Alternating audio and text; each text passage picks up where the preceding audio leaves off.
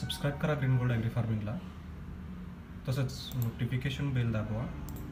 आणि मिळवा शेतीविषयक सर्व माहिती सर्वप्रथम आपल्या मोबाईलवर तो, आज जे एक आपले काही व्हिडिओ आहे तर ही मिरचीचं पूर्ण जे काही टाईम टेबल आहे खतांचं त्यानंतर स्प्रेचं तर त्याबद्दल ही आज व्हिडिओ देणार आहे.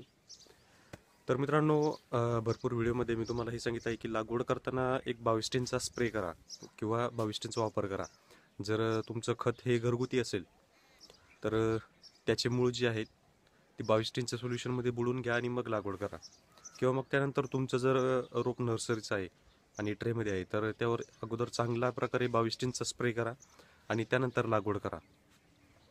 असं केल्याने जवळपास एकवीस ते एकवीस दिवस ते एक महिना जवळपास तुमच्या मिरचीला बुरशीचा मारा होत नाही. आणि हे जवळपास नव्वद टक्के असं घडतं की अ, बाविस्टीनचा मारा हा लवकरात लवकर होत नाही.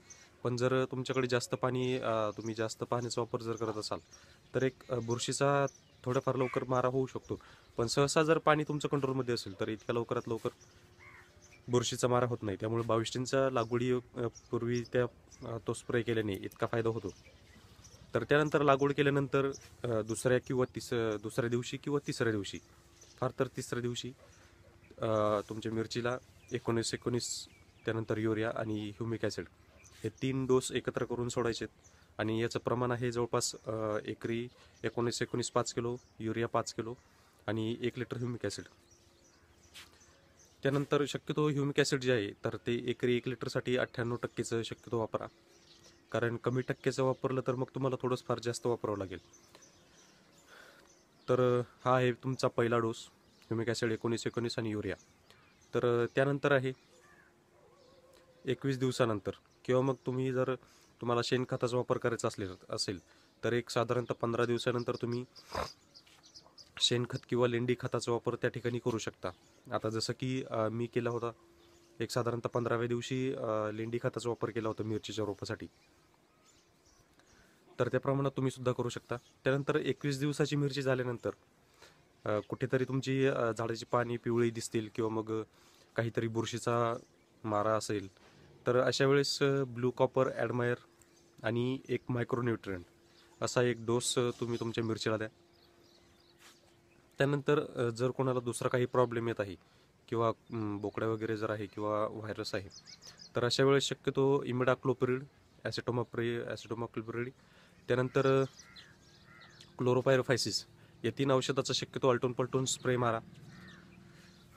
जेणेकरून तुमचा जो काही व्हायरस आहे तो कंट्रोल होईल. आणि शक्यतो ज्यांच्या मिरचीवर व्हायरस आलेला आहे त्यांनी शक्यतो अगोदर पाणी बंद करा. ते पाणी थोडंसं एकदम लोमध्ये घ्या. जर तुम्ही एका दिवसाला एक तास पाणी देत असाल तर ते तीन दिवसाला एक तास पाणी करा. त्यामुळे काय होतं की तुम्ही पाणी बंद केल्यानंतर व्हायरस ॲटोमॅटिकली थोडंच फार कमी होतो आणि जेव्हा तुम्ही एक स्प्रे देता त्यावेळेस ते पूर्णपणे निघून जातो. मग अशा वेळेस तुम्ही जर पाणी देत राहिले तर तुम्ही फक्त हाच विचार करता की जो काही व्हायरस आहे तो का जात का नाही आहे तर पाण्यामुळे व्हायरस अट्रॅक्ट होतो आणखी आणि जसं की आपण पाहतो की पान पूर्ण आकडून जातात तर ते काही जो व्हायरस आहे ते पूर्ण पान शोषून घेतात. मग त्यामुळे जेव्हा कधी तुम्हाला बोकड्याचा स्प्रे करायचा आहे तर त्यावेळेस पाणी बंद करा. आणि पाणी शक्यतो कंट्रोलमध्येच ठेवा. त्यानंतर आहे मित्रांनो एक एकवीस दिवसानंतर जो की मी तुम्हाला सांगितला की ब्ल्यू कॉपर ॲडमायर आणि एक मायक्रोन्युट्रंट मायक्रोन्युट्रंट साधारणतः एकरी एक लिटर वापरा. त्यानंतर ॲडमायर आहे तर ते साधारणतः एक ते दोन ग्रॅम फार तर तीन ग्रॅम वापरा एका पंपासाठी. आणि त्यानंतर ब्ल्यू कॉपर जे आहे ते साधारणतः एक पंचवीस ग्रॅम एका पंपासाठी वापरा. त्यानंतर बोकड्यासाठी तुम्हाला सांगितलंच आहे. आणि जर पांढरी माशी किंवा अळी त्या ठिकाणी जर तुमच्या मिरचीवर असेल तर एकदा कॉन्फिडोर मारा त्यानंतर एकदा क्लोरोपायरोफायसिस मारा किंवा ॲसेटोमाप्रिड मारा. असं शक्यतो पांढरी माशी जर असेल तर पहिल्यांदा पांढरी माशीची काळजी घ्या मिरचीची काळजी घेताना पांढरी माशी जर असेल तर अगोदर पाण्याचा स्प्रे करून चांगल्या प्रकारे तो स्प्रे करा. म्हणजे जेणेकरून जे जी काही अंडी असतात तर ती अंडी निघून जातील. आणि त्यामुळे तुमच्या मिरचीवर जे काही अंडी पसरणार आहेत जी पांढरी माशी वाढणार आहे तर ती वाढणार नाही. त्यानंतर पाणी मारल्यानंतर लगेच एक शक्यतो कोणताही स्प्रे द्या कॉन्फिडोरचा द्या किंवा मग ॲसिटोमाप्रिडचा द्या किंवा मग क्लोरोपायरफायसिसचा द्या. हा स्प्रे दिल्यानंतर शक्यतो तुमच्या मिरचीमध्ये स्टिकी पेपर्स लावा जेणेकरून जी काही पांढरी माशी नंतर येणार आहे ती येणार नाही. आणि त्यानंतर परत एक चार ते पाच दिवसानंतर परत दुसरा डोस द्या. तो दुसरा डोस वेगळा द्या कारण एक सेम टू सेम डोस दिल्याने तुमच्या पांढऱ्या माशीवर इफेक्ट पडणार नाही कारण ती त्यांना एक प्रकारची सवय होऊन जाते. त्यात तुम्हाला फार तर एक वीस पंचवीस टक्के फरक दिसेल. म्हणजे तुम्ही जर वेगवेगळे औषध जर वापरले तर त्या ठिकाणी भरपूर फरक त्या ठिकाणी तुम्हाला पडू शकतो. तर मग त्यानंतर आहे आता मित्रांनो जवळपास एक एक महिन्यानंतरचा जो काही स्प्रे आहे तर तो सांगितलेला आहे. त्यानंतर जवळपास जेव्हा तुमची मिरची फुलोरा धरते अशा वेळेस तुम्ही गोमूत्राचा वापर करू शकता. म्हणजे जीवामृतचा वापर करू शकता किंवा स्लरीचा वापर करू शकता.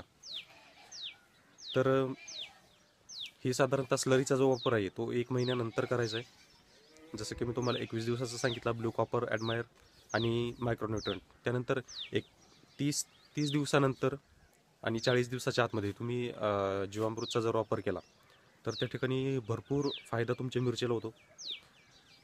झाड जे आहे ते एक प्रकारे हाईट जातं त्यानंतर बा झाड एकदम स्ट्रॉंग बनतं. कारण मी स्वतः दोन डोस आत्तापर्यंत जीवामृतचे दिलेले आहेत मिरच्या आणि त्या ठिकाणी मग मी कोणताही मायक्रोन्युट्रंट अजून तरी वापरलेला नाही आहे एकवीस दिवसामध्ये एकवीस दिवसावर जो वापरला होता तर त्यानंतर एकाही मायक्रोन्युट्रंट आणि एकाही स्प्रे मी अजून तरी वापरलेला नाही आहे तर तुम्हीही एकदा तीस दिवसानंतर आणि चाळीस दिवसाच्या आतमध्ये एक स्लरीचा डोस द्या. भरपूर इफेक्ट तुम्हाला त्या ठिकाणी पडतोय जसं की मी तुम्हाला माझ्या मिरच्या दाखवल्याच आहेत. तर त्यानंतर वेळ येते एक पंचेचाळीस दिवसानंतर. तर पंचेचाळीस दिवसानंतर फुल चांगल्या प्रकारे यायला सुरुवात होती किंवा फुलं लागतात. अशा वेळेस झिरो बावन्न चौतीस थोड्या प्रमाणात द्या आणि नायट्रोबेन्झिन जे आहे ते अठरा टक्के ते अठ्ठावीस टक्केपर्यंत जे नायट्रोबेन्झिन आहे तर ते नायट्रोबेन्झिन त्या ठिकाणी सोडा. तर नायट्रोबेन्झिनचं जे काही प्रमाण आहे ते साधारणतः एकरी एक साधारणतः दोनशे ग्रॅमपर्यंत तुमच्या मिरचीला सोडा. जेणेकरून जी तुमच्या मिरचीला फुलं लागणार आहेत ती फुलं जास्त प्रमाणात लागतील आणि जे फुलं लागलेली आहेत तर ती स्ट्रॉंग बनतील. आणि झिरो बावन्न चौतीस जेव्हा तुमची मिरची चालू होईल तेव्हा झिरो बावन्न चौतीस तुम्ही देऊ शकता. किंवा मग इतर अजून दुसरे पावडर तुम्ही वापरू शकता. ॲग्रोमिनमध्ये पण मिळतात. तर ती पावडरसुद्धा मिरचीसाठी तुम्ही वापरू शकता. तर अशा प्रकारे हे जे काही शेड्यूल आहे हे मिरचीचं पहिल्या दिवसापासून एक साधारणतः पहिल्या तोड्यापर्यंत ही पूर्ण माहिती या ठिकाणी मी देत आहे. कारण भरपूर लोकांनी हेच सांगितलं की सर तुम्ही या व्हिडिओ द्या. तर ही व्हिडिओ माझ्या मते तुम्हाला पुरेशी असेल. आणि मित्रांनो व्हिडिओ जर आवडले असेल तर प्लीज लाईक करा शेअर करा सबस्क्राईब करा. आणि या व्यतिरिक्त पण भरपूर लोकांना काही प्रॉब्लेम येतात. हे फक्त एक नॉर्मली जे नॉर्मल टेम्परेचरमध्ये ज्या मिरची असतात त्यांना हा प्रॉब्लेम येतो आणि हेच सोल्युशन मी या ठिकाणी सांगितलेलं आहे.